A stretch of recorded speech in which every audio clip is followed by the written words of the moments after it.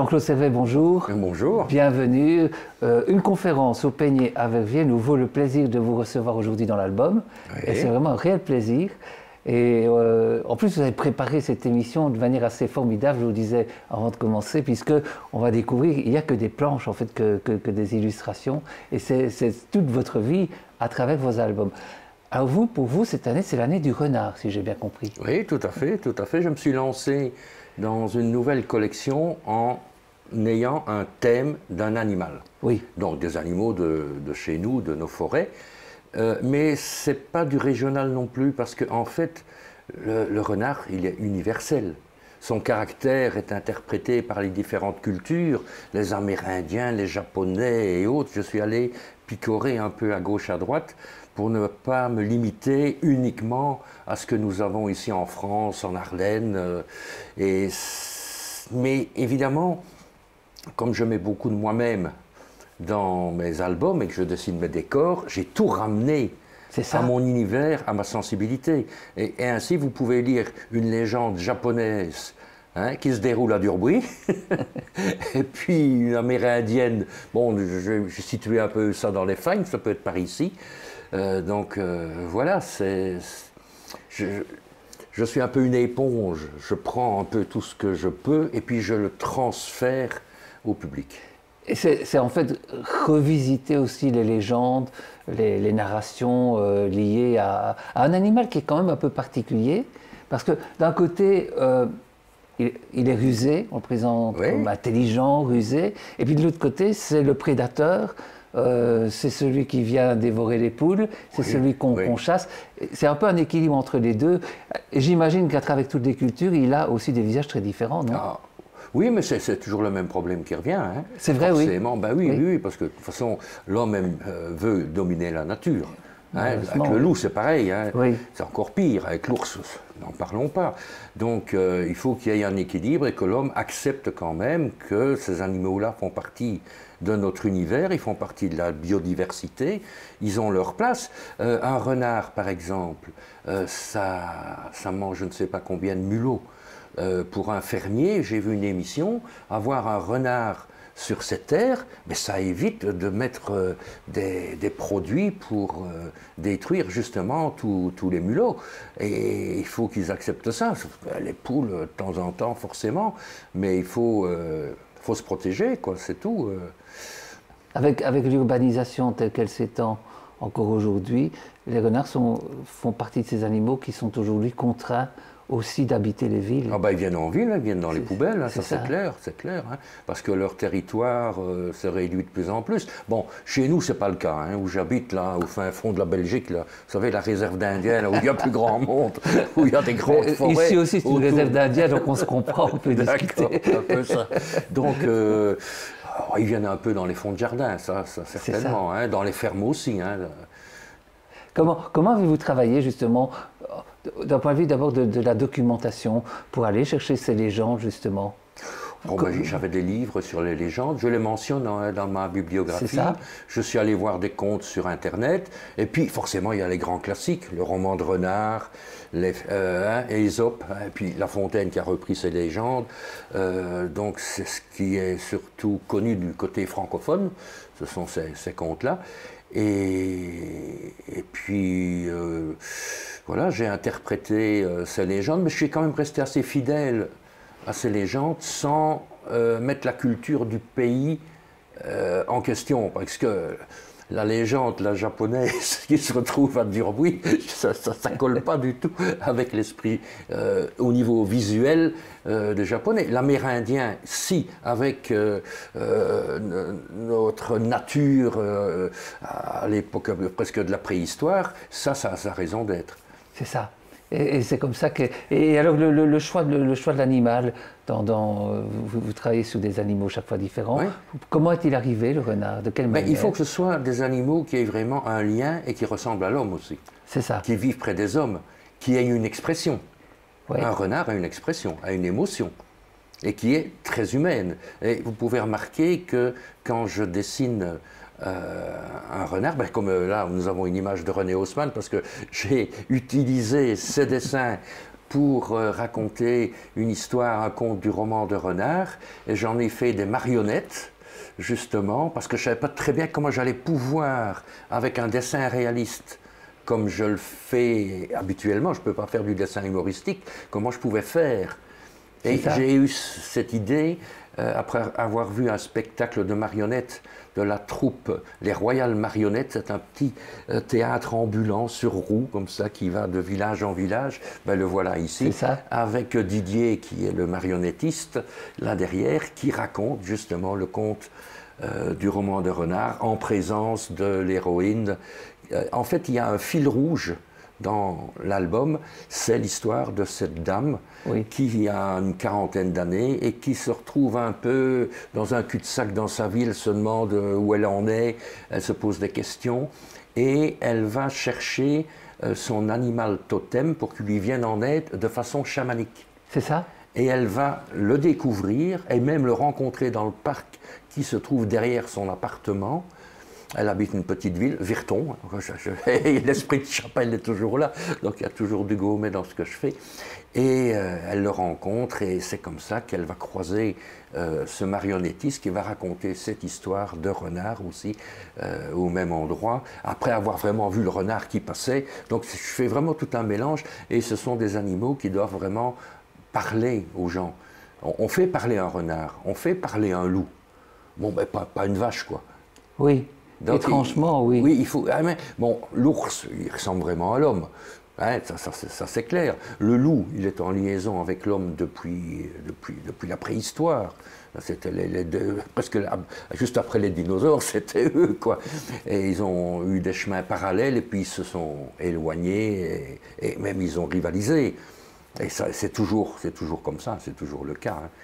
Non, non, il faut prendre des animaux qui, qui, interpellent. Je ferai le chat aussi. Ah, le chat Ah, bah ah oui, hein, le chat, le chat, il y a de quoi faire aussi. Le chat sauvage. Hein, mais il y aura aussi les, petits chats, euh, bien que les chats aussi, euh, au niveau de la biodiversité, il faut quand même les tenir à l'œil parce qu'au niveau des dégâts, euh, des, des, oisillons et autres, il y a quand ah, même un petit problème. Ah, oui, voilà, je dénonce un peu tout ça. Hein. Et, et, dans, dans l'album, euh, j'ai aussi des petites observations très pertinentes de, de gens de la nature, d'un garde forestier notamment, dont je mentionne le livre dans, dans ma BD, euh, des observations qu'il a faites qui sont très particulières et qui donnent le caractère plus humain à ces animaux. Alors, votre région, c'est la Gaume. Oui. Ben, vous êtes originaire de Liège tout de même. Je suis né à Liège. mais mon papa, il est de Tintigny en vous, Donc vous êtes retourné chez votre grand-mère, c'est ça? Voilà, c'est ça. Mon père a eu du boulot à Liège, c'est tout. Mais ah sinon, toute la famille est gaumaise. Ah oui, oui, oui, D'accord. Alors, parlez-moi de la Gaume. La Gaume, la Gaume, la Gaume, la Gaume, ben, regardez les, décors. Là, là c'est... Ce décor, c'est assez particulier. Euh, on en parlera, je ne sais pas, je n'ai pas vu défiler les images précédentes, mais euh, j'écris mes scénarios dans un petit chalet, un petit chalet bleu. Oui. Et il y a une petite propriété, il y a 3 hectares, et il y a des fonds de bois. C'est ça. Et ici, c'est un fond de bois qui se trouve justement au-dessus de mon chalet. D'accord. Vous, croisez souvent des animaux Ah ben ils sont, ils sont autour de moi. Ils sont tout le temps Ils sont autour de moi. Alors ici c'est très particulier. C'est une question citadine, désolé. non, ils sont autour de moi. Alors ici c'est vraiment particulier parce que euh, avant de faire ce dessin, je n'avais jamais vu de cerfs et de biches sur mon petit terrain. D'accord. Et je les ai placés à cet endroit-là et c'est l'endroit précis où ils viennent maintenant. Alors là, c'était vraiment bien choisi. Ah, c'est amusant. C'est parce qu'il y a des mares, il y a justement le, ruisseau, et ça, correspond. J'ai des traces. Au sol, je mets des pièges photos, je les vois qui passent. J'ai même une photo où on voit un cerf qui se roule dans la boue pour se débarrasser de ses parasites, comme font les sangliers. Et c'est juste à cet endroit-là, quoi. D'accord. On voit d'autres paysages. Ah ben oui, oui, oui. Ben, les lumières, ça c'est les lumières de la Gaume. Vous voyez, ce sont des feuillus. Euh, c'est un sol sablonneux qui est lumineux et on dit toujours qu'il fait meilleur en gomme qu'ailleurs. Ah oui Donc le soleil est toujours présent. On ne vit pas sous bulle non plus. On s'imagine qu'il fait toujours très beau chez nous. J'ai l'impression d'entendre un breton parler, parce que les bretons disent ça aussi. Ah bah oui, oui. enfin, nous, on est du, midi, hein, on n'est pas de Bretagne. oui, c'est juste. On est un peu chauvin aussi. Hein.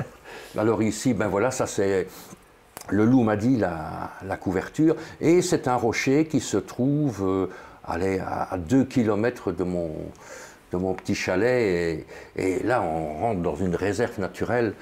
Et alors, euh, c'est une roche très particulière qui reflète la chaleur. Mhm. Ça s'appelle du poudinque.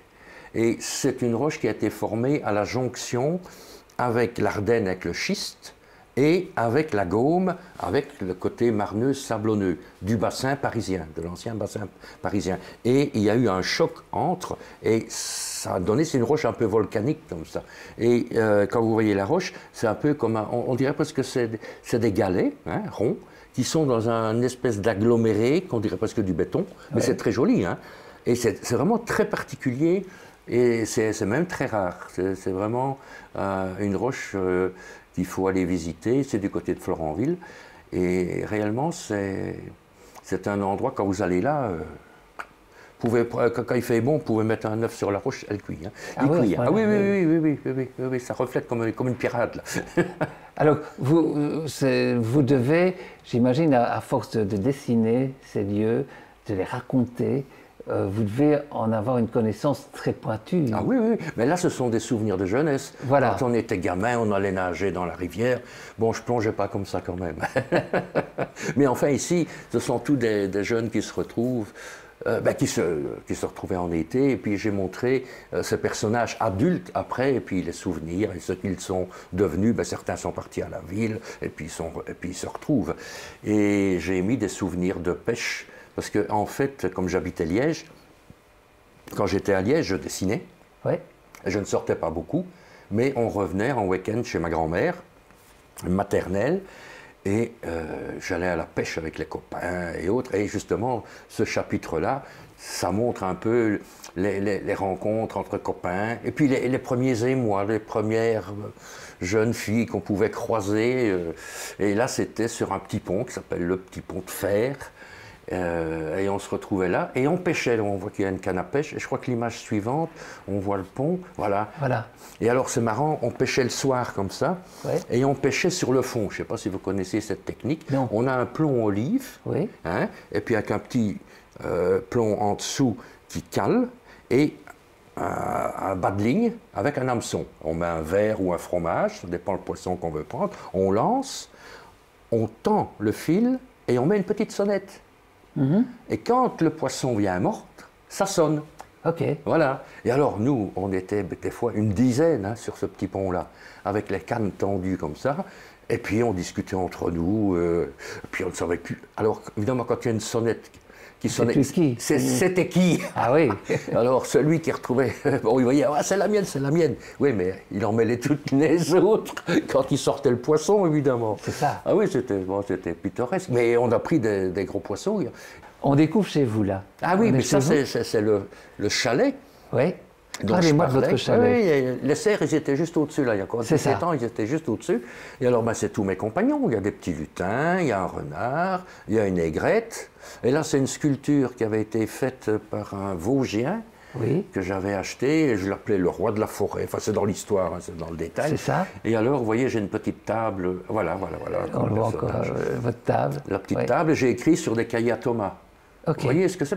Oui, je très bien. De toute façon, il n'y a pas l'électricité. Vous, hein. vous, avez des rituels pour travailler? Oui. Ah ben oui, oui. De toute façon, moi, j'écris à la main hein, et je dessine. Euh, l'ordinateur n'intervient que pour la couleur. Ok. Ah oui. Mais c'est pas moi qui l'a fait. Et vous travaillez sur des cahiers à Thomas? Voilà, voilà. Ah oui, parce que c'est pratique. Euh, j'écris d'abord un synopsis, hein, comme au cinéma. Ah et quand j'écris sur des cahiers à Thomas, euh, il faut que je respecte un certain nombre de pages pour un livre. Parce qu'il y a des cahiers, vous savez, on imprime euh, sur des feuilles de 16 pages, il faut respecter un peu tout ça et avoir un certain équilibre. Et des fois, je change un chapitre de place, ou je le réécris, ah oui, alors j'enlève les pages, et je le recommence. D'accord, ok. Et j'écris au crayon, et je gomme. Il y a la gomme qui est dessus. Oui, c'est vraiment tout, tout, tout, juste, hein, la gomme. C'est un crayon gomme, là. Une gomme crayon, là. Et, après le cahier Thomas, alors, c'est quoi l'étape suivante, alors? Ah ben là, après, il faut euh, aller en repérage pour prendre, et trier la documentation pour pouvoir faire les dessins. Mais c'est comme au cinéma. Hein.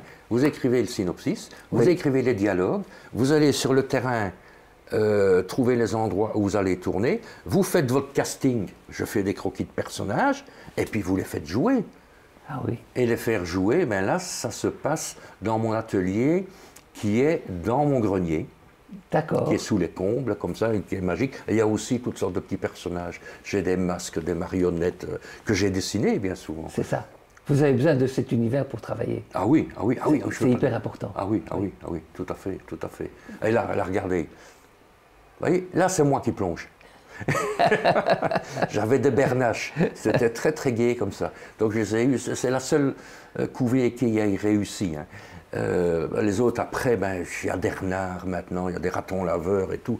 Euh, donc les, les, bernaches viennent chaque année, mais elles ne réussissent pas parce que les, les prédateurs viennent attaquer leurs œufs. Et là, c'est une mare, là c'est un, étang qui fait. Et vous pouvez nager dedans. Ah oui, oui, qui fait, qui fait 7-8 heures. Il y en a un autre plus grand en contrebas. Et alors, j'ai des tas d'animaux qui viennent. J'ai même des cigognes noires, très, très rares. Martin Pêcheur aussi. D'accord. Ah, oui, c'est marrant, j'ai une petite anecdote. Martin Pêcheur. Euh, bon, moi, je, n'ai plus grand-chose sur le caillou, donc euh, quand, je vais nager, je mets un chapeau de paille, un vieux chapeau de paille un peu tout troué, et puis je nage comme ça. Et alors, euh, je me retrouve sur le ponton, là, et puis je mets mon chapeau de paille, puis j'entends le, petit cri strident du tit tit. Ça, c'est le Martin Pêcheur qui passe. Je ne fais pas tellement attention. Et juste en contrebas, ici, euh, vous avez des, grands roseaux massettes. Et le soleil était de ce côté-là, hein, de, l'image, donc je vais dans l'eau, et puis je vais dans l'eau, donc il n'y a plus que... J'ai de l'eau jusque-là, hein, parce qu'il me voit quand même, et je vois à travers les roseaux massettes en contre-jour une spirale qui monte. Qu'est-ce que c'est que ce truc? Et puis tout d'un coup, cette spirale m'a visé entre les deux yeux. Vous savez, comme Romain Desbois qui tire une flèche comme ça qu'est-ce que je fais? Ça, va vite, hein? Ça. va vite. Hein? Je dis, mais je, ne bouge pas, je ne bouge pas. Et au dernier moment, il a dévié et j'ai vu l'éclair bleu. Donc c'est le Martin Pêcheur qui essayait de me chasser parce qu'en fait, bon, je suis chez moi, oui, mais je suis chez lui. Ah oui. Mais ça fait une drôle d'impression. Et vous savez, un Martin Pêcheur comme ça, à l'arrêt, en 20 mètres, il arrive à 60 à l'heure. Donc, il était allez, à 15 mètres de moi. Donc il était quasi à 50 à l'heure, quoi, il est passé. Ah, vous imaginez la une de l'avenir du Luxembourg, Jean-Claude Servet avec un Martin Pêcheur entre les deux yeux, ah, ils auraient fait un carton, ça sûrement. Et, c'est intéressant, cette histoire de territoire. C'est vrai que vous êtes chez vous, mais vous êtes chez eux, ils sont chez eux. Vous sentez les, justement les territoires qui, ah, dialoguent entre eux? Quand, quand j'arrive, j'ai une petite Suzuki de bûcheron, là, à Jimny, là. Avant, c'était la Samouraï. Voyez Et alors, quand j'arrive, je les chasse. Mais quand je suis en écriture, je passe la journée là-bas. Hein. Je rentre le soir chez moi, je fais la navette tous les jours. Je pars avec le thermo, le café et la petite réserve d'Orval dans la cave en dessous. Là. eh bien, ils s'en vont et puis ils reviennent. C'est comme ça que j'ai vu une cigogne noire à mes pieds, un écureuil qui faisait des pirouettes, euh, un renard qui passe, un cerf qui passe au-dessus, euh, il ne me voit pas, je ne bouge pas. C'est ça. Alors euh, j'ai écrit, même des fois ils peuvent peut-être penser que je ne les vois pas parce que je suis en train d'écrire. Ah oui. Et là, là, mais ils m'acceptent. Et alors les bernaches, c'est marrant parce que quand j'y allais, je leur donnais du pain, quoi. Et elles venaient. Alors elles entendaient la Suzuki qui rentrait dans la propriété, elle se pointait déjà devant le ponton, elles étaient là que... Ils apprennent vite. Hein. Et, donc ces territoires, à un moment donné, euh, c'est plutôt vous qui les occupez ou bien ou, eux qui reprennent finalement leur place? Ah oui, oui, mais de toute façon ils ont leur place, mais de toute façon on se connaît. et alors les bernaches que vous voyez ici, euh, quand, j'arrivais, euh, je leur donnais du pain, quoi. Donc elles avaient pris cette habitude-là. Et les fois suivantes, quand je rentrais dans la propriété avec euh, ma petite euh, Jimny Suzuki de bûcheron, elles m'entendaient et elles étaient pointées au pied du ponton, en train d'ouvrir déjà le bec, que je n'avais pas, n'étais pas encore sorti de la voiture. Hein. Ah oui. Et quand j'avais oublié de prendre le pain, ouh, je me faisais enguirlander. Hein. Ouh, elles criaient. ils, ils, prennent vite leurs habitudes. Vous parliez de, de, vous disiez tout à l'heure que vous étiez un Indien sur un territoire indien, mais parfois vous sortez, je vous disais, nous aussi on est des Indiens, parfois l'Indien que vous êtes vient rendre visite aux autres Indiens, puisque euh, je voudrais qu'on parle de Belém, ça se passe chez nous, en ah, oui, tout à fait, au château de Reinharstein, qu'on redécouvre avec beaucoup de plaisir à, travers, à travers votre trait et à travers votre œuvre. Alors, comment est né ce, projet Donc, on ne va pas raconter toute l'histoire, mais Belém, c'est un, c'est un enfant euh, touché par le diable, en fait, hein, à un moment donné. Mais disons que l'idée de départ, c'était euh, mettre en scène plutôt des, les personnages comme euh, euh, Mélusine, euh, les quatre fils c'est ça, un peu les chevaliers de la table ronde, et faire un peu tout un mélange et, et, mettre en scène tous ces personnages-là que je n'avais pas encore travaillé jusqu'à présent, et j'avais pas vraiment d'histoire comme ça, donc je voulais quelque chose qui soit moyenâgeux, intemporel et dans la forêt. Et le château de Reinhardstein, ben, c'est un ami, Jean-Luc Duvivier, qui est administrateur, des administrateurs du château, qui me parlait toujours de ce château de Reinhardstein. Et il se fait que je me suis retrouvé une fois en week-end tout près. Et je me dis, je vais aller le visiter. Je l'ai visité, et puis c'était le coup de foudre. Et quand j'ai écrit un an après cette histoire, je dis, c'est là que ça doit se passer. C'était une évidence pour vous? C'était une évidence, c'était ah une évidence. Parce que je ne voulais pas non plus faire du, médiéval médiéval. Euh, ici, le château, il n'est pas euh, authentique. Regardez, les, fenêtres, c'est des fenêtres Renaissance. Elles ont été agrandies justement pour y vivre, parce que le, professeur qui a restauré ça, c'était pour y vivre. Donc, ce n'est pas une reconstitution authentique. Et c'est ça qui m'intéressait aussi, parce que moi, je fais dérouler l'histoire au XVIIIe siècle à l'époque d'un sorcier que j'ai découvert dans un petit bouquin qui s'appelait Belém, c'est la région des Ça avait été écrit par un docteur, je ne sais plus son nom, c'est mentionné dans la BD. Et euh, je me dis, tiens, je mettrais bien ce personnage-là euh, avec mes lusines et, l'imagination. Comme ça, j'ai fait tout un, un cocktail.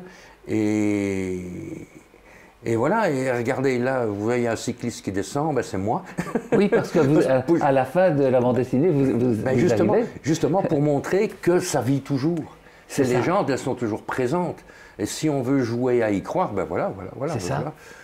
J'ai découvert le vélo électrique au moment du Covid. J'ai fait des kilomètres avec ça, c'était la liberté. On pouvait aller nulle part, mais avec le vélo, on pouvait. C'est ça. Ah, c'était extraordinaire. Non, c'est une belle découverte. Et ce, château, qu'est-ce qui inspire pour vous?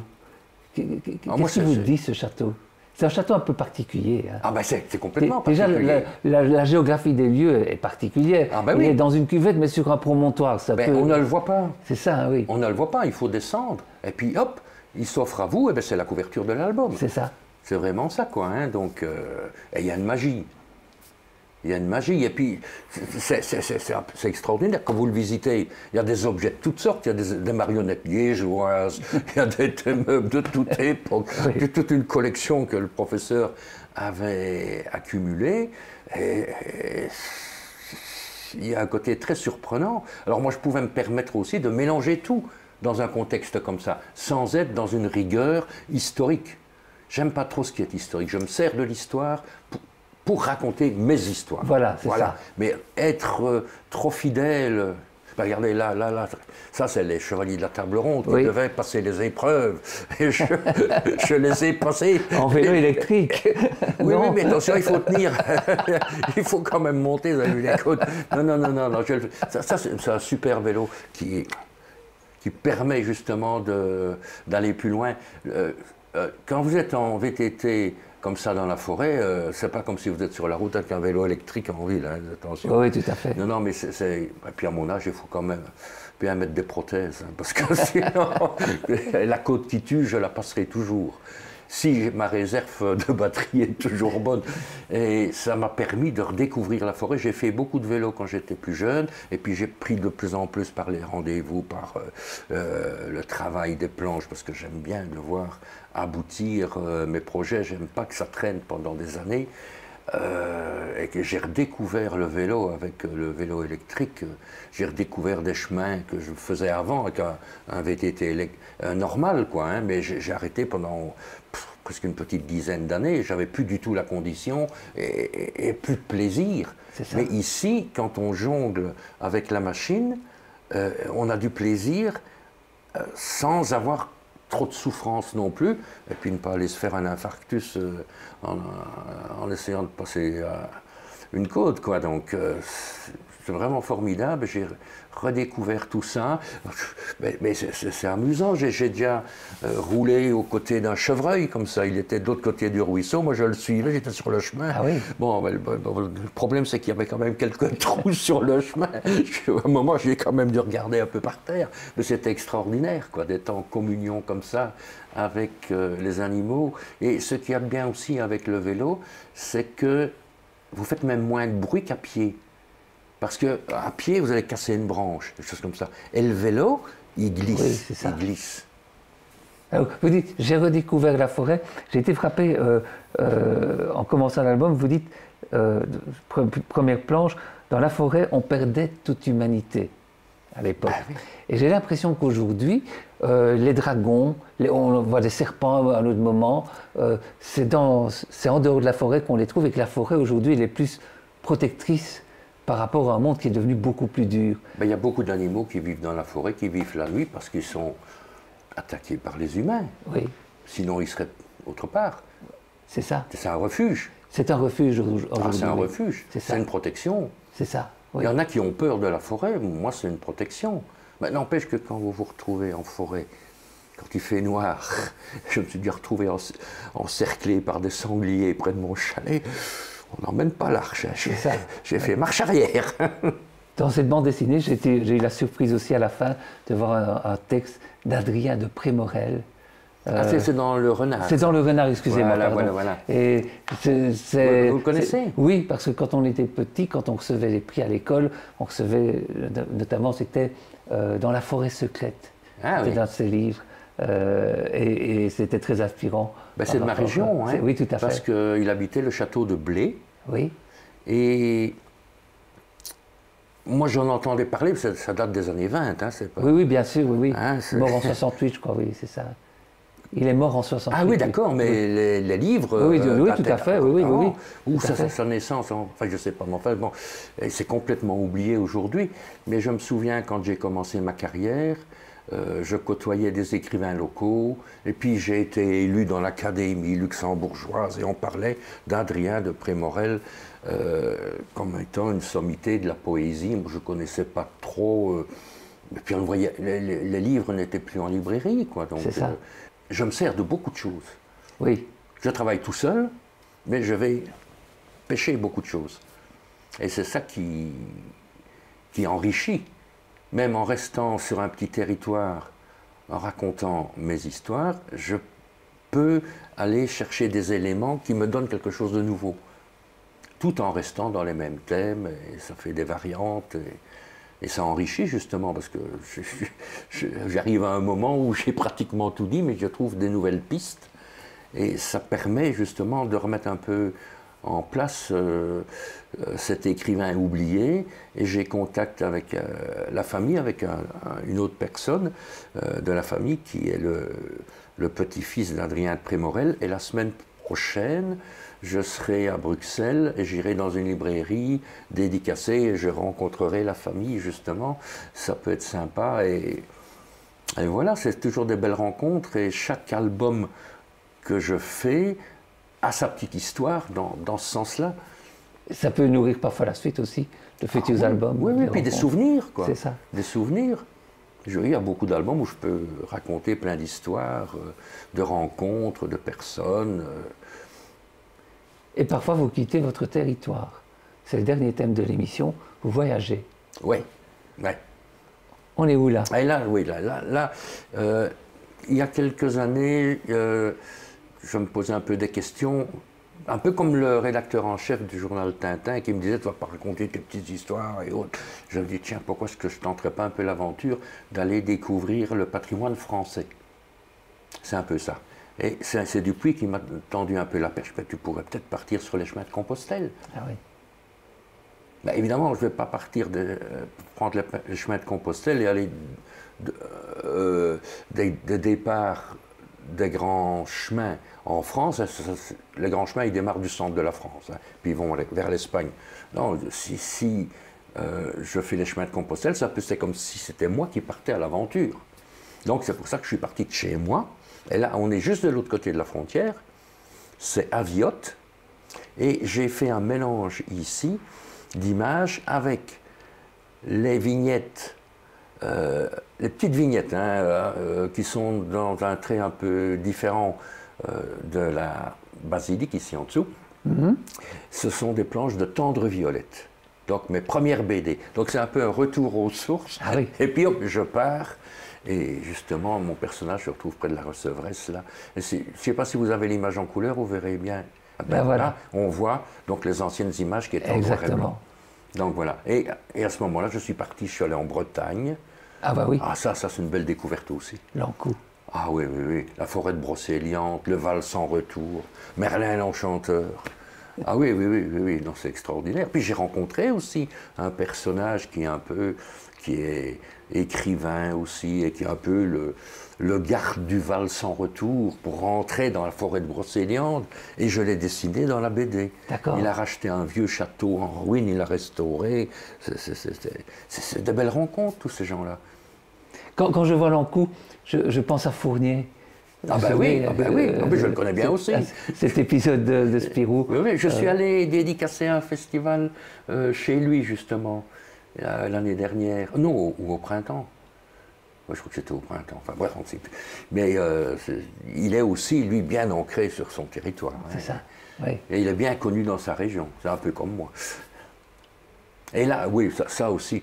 Ça, c'est extraordinaire. Je ne sais pas si vous connaissez. De, de nom L'atelier de la machine. Ça l'air très, très... C'est extraordinaire. Ah oui. Donc c'est dans les rues de Nantes, hein, c'est ça Ah mais c'est les anciens bâtiments euh, de, des ateliers euh, de, bateaux, euh, atelier, comment est-ce qu'on dit? Atelier, Oui, je vois ce que vous voulez dire, de, chantier, des chantiers, chantier naval. Chantier naval, voilà. Euh, de Nantes, parce qu'après, euh, ça s'est déplacé c'est allé, euh, bon, bref, n'entrons pas dans les détails, et c'était une zone qui était un peu abandonnée, en friche. C'est ça. Et alors, là, justement, l'atelier de la machine, je crois qu'au début, ils étaient sur Paris, et c'est suite à la, à la ville de Nantes qu'ils ont été invités à venir travailler avec l'aide de la ville pour redonner vie à tous ces quartiers-là. C'est ça. Et c'est ça qu'ils ont fait des machines. Puis ils donnent des spectacles. Moi, j'ai vu des images avec une araignée géante qui escaladait euh, la cathédrale de Reims. Quoi. Et ça, c'est extraordinaire. Il y a, il y a 25, 50 passagers qui peuvent avoir euh, là-dessus, sur, sur, ce truc. C'est énorme, énorme, énorme. Oui, c'est exceptionnel. Ah oui, oui, oui. Non, j'étais impressionné. Je me dis, il faut que je montre ça. Parce qu'en fait, euh, je n'ai pas fait les chemins de Compostelle, me balader euh, pendant trois mois. J'ai pas le temps, il faut que je dessine quand même. Hein. Mais euh, j'ai écrit sur base de documentation que j'avais, en jouant avec les cartes, en jouant avec les chemins. Tiens, je vais passer par là, qu'est-ce que je peux montrer? C'est ça que je voulais faire. Moi, c'était découvrir ce qu'il y avait au fur et à mesure euh, des, balades de mes personnages, donc de moi. Et j'allais euh, vraiment cibler les endroits. Et quand je faisais ma documentation, euh, je réservais des chambres d'hôtes ou chambres d'hôtel pendant une semaine. J'allais d'un endroit à l'autre et je me déplaçais en voiture. Quand j'étais sur place, hop, j'allais prendre des photos. mais tout était déjà préparé avant. C'est ça, d'accord. On, on, arrive à la fin de cette émission. Si vous n'aviez pas été auteur de bande dessinée, qu'est-ce que vous auriez fait? Auteur de bande dessinée, je ne vois pas ce que je refais. Non Ah non, non, euh, j'adore dessiner, mais j'adore raconter des histoires aussi. Et quand j'étais gamin, euh, je faisais des dessins, mais je faisais jamais un dessin unique. Je faisais plusieurs dessins pour raconter quelque Fallait chose. une histoire. Oui. Voilà, moi c'est mon moyen d'expression. Euh, si j'avais pas eu le dessin, j'aurais peut-être pu faire du cinéma, du roman, je sais pas. Mais toujours raconter des histoires. Ouais, raconter des histoires, mais dessiner aussi. J'aime les deux. Et ce qui est intéressant, c'est de pouvoir travailler sur deux tableaux. Et vous avez peut-être les deux tableaux avec les photos, oui. les deux ateliers. On y arrive. Il y a une différence. Ça, c'est mon atelier de dessin qui est dans mon grenier, à 360 degrés. Hein. Attention, hein, parce que ça fait un effet un peu spécial. Ça fait un peu machine nantaise. Hein, ah oui, complètement. oui, quand on passe de l'éléphant qu'on arrive là, c'est tout à fait la même chose. Non, mais, et là, c'est le, chalet bleu qui se trouve dans la forêt où j'écris. Où on, avait, on, vous retrouve. Donc voilà, ça c'est l'écriture et le dessin. Et c'est ça qui est intéressant, c'est de pouvoir passer d'un à l'autre. C'est ça. Donc chaque année, j'écris à la belle saison en juillet-août. Je commence à dessiner à partir du 15 septembre jusqu'à fin juin. Oui.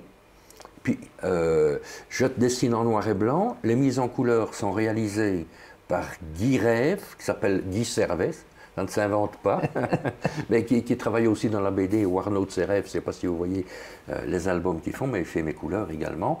Et euh, on finalise l'album qu'on imprime fin août, début septembre. Et j'essaye de tenir ce rythme-là pour aller dans ma forêt en juillet-août à la belle saison. Ah oui. Voilà. Et puis quand il fait mauvais, ben, comme on vient d'avoir une période épouvantable où il pleut tout le temps, ben, je dessine, je dessine, je dessine.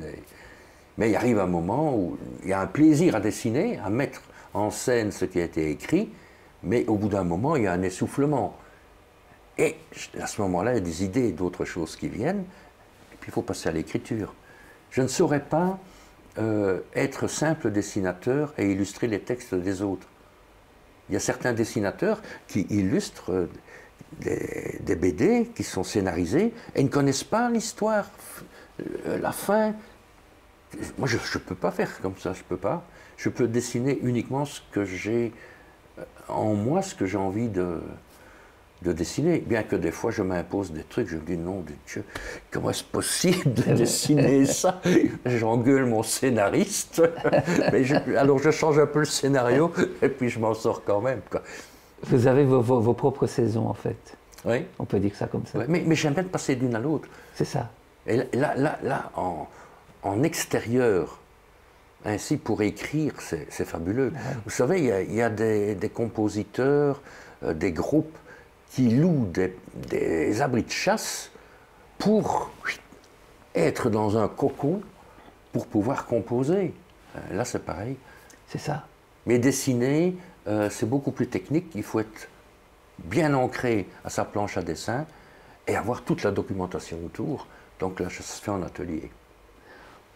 Une émission où on a découvert, redécouvert vos dessins et où on a raconté votre histoire. On est un peu dans votre univers, non? Ah ben complètement. Complètement. Merci infiniment. Ben, c'est moi qui vous remercie. Voilà, c'est un beau partage et on était ravis de redécouvrir cet univers. Et je rappelle le dernier paru Renard Ruizé euh, chez Dupuis, évidemment. Merci à vous. Ben, je vous remercie et puis euh, meilleurs vœux à tout le monde euh, pour 2024. Ah oui, il faut que 2024 soit mieux que 2023. On est ah oui, encore mieux que l'autre avant. On va tout faire pour que ça se passe comme ça. Il faut, profiter, faut profiter des, moments euh, qu'on a au maximum et ne pas les laisser passer. C'est vrai. Merci Jean-Claude Servet. Merci beaucoup. Et puis nous, on se retrouve euh, bah, dans une semaine, lundi, 20h30. Bonne soirée, à bientôt.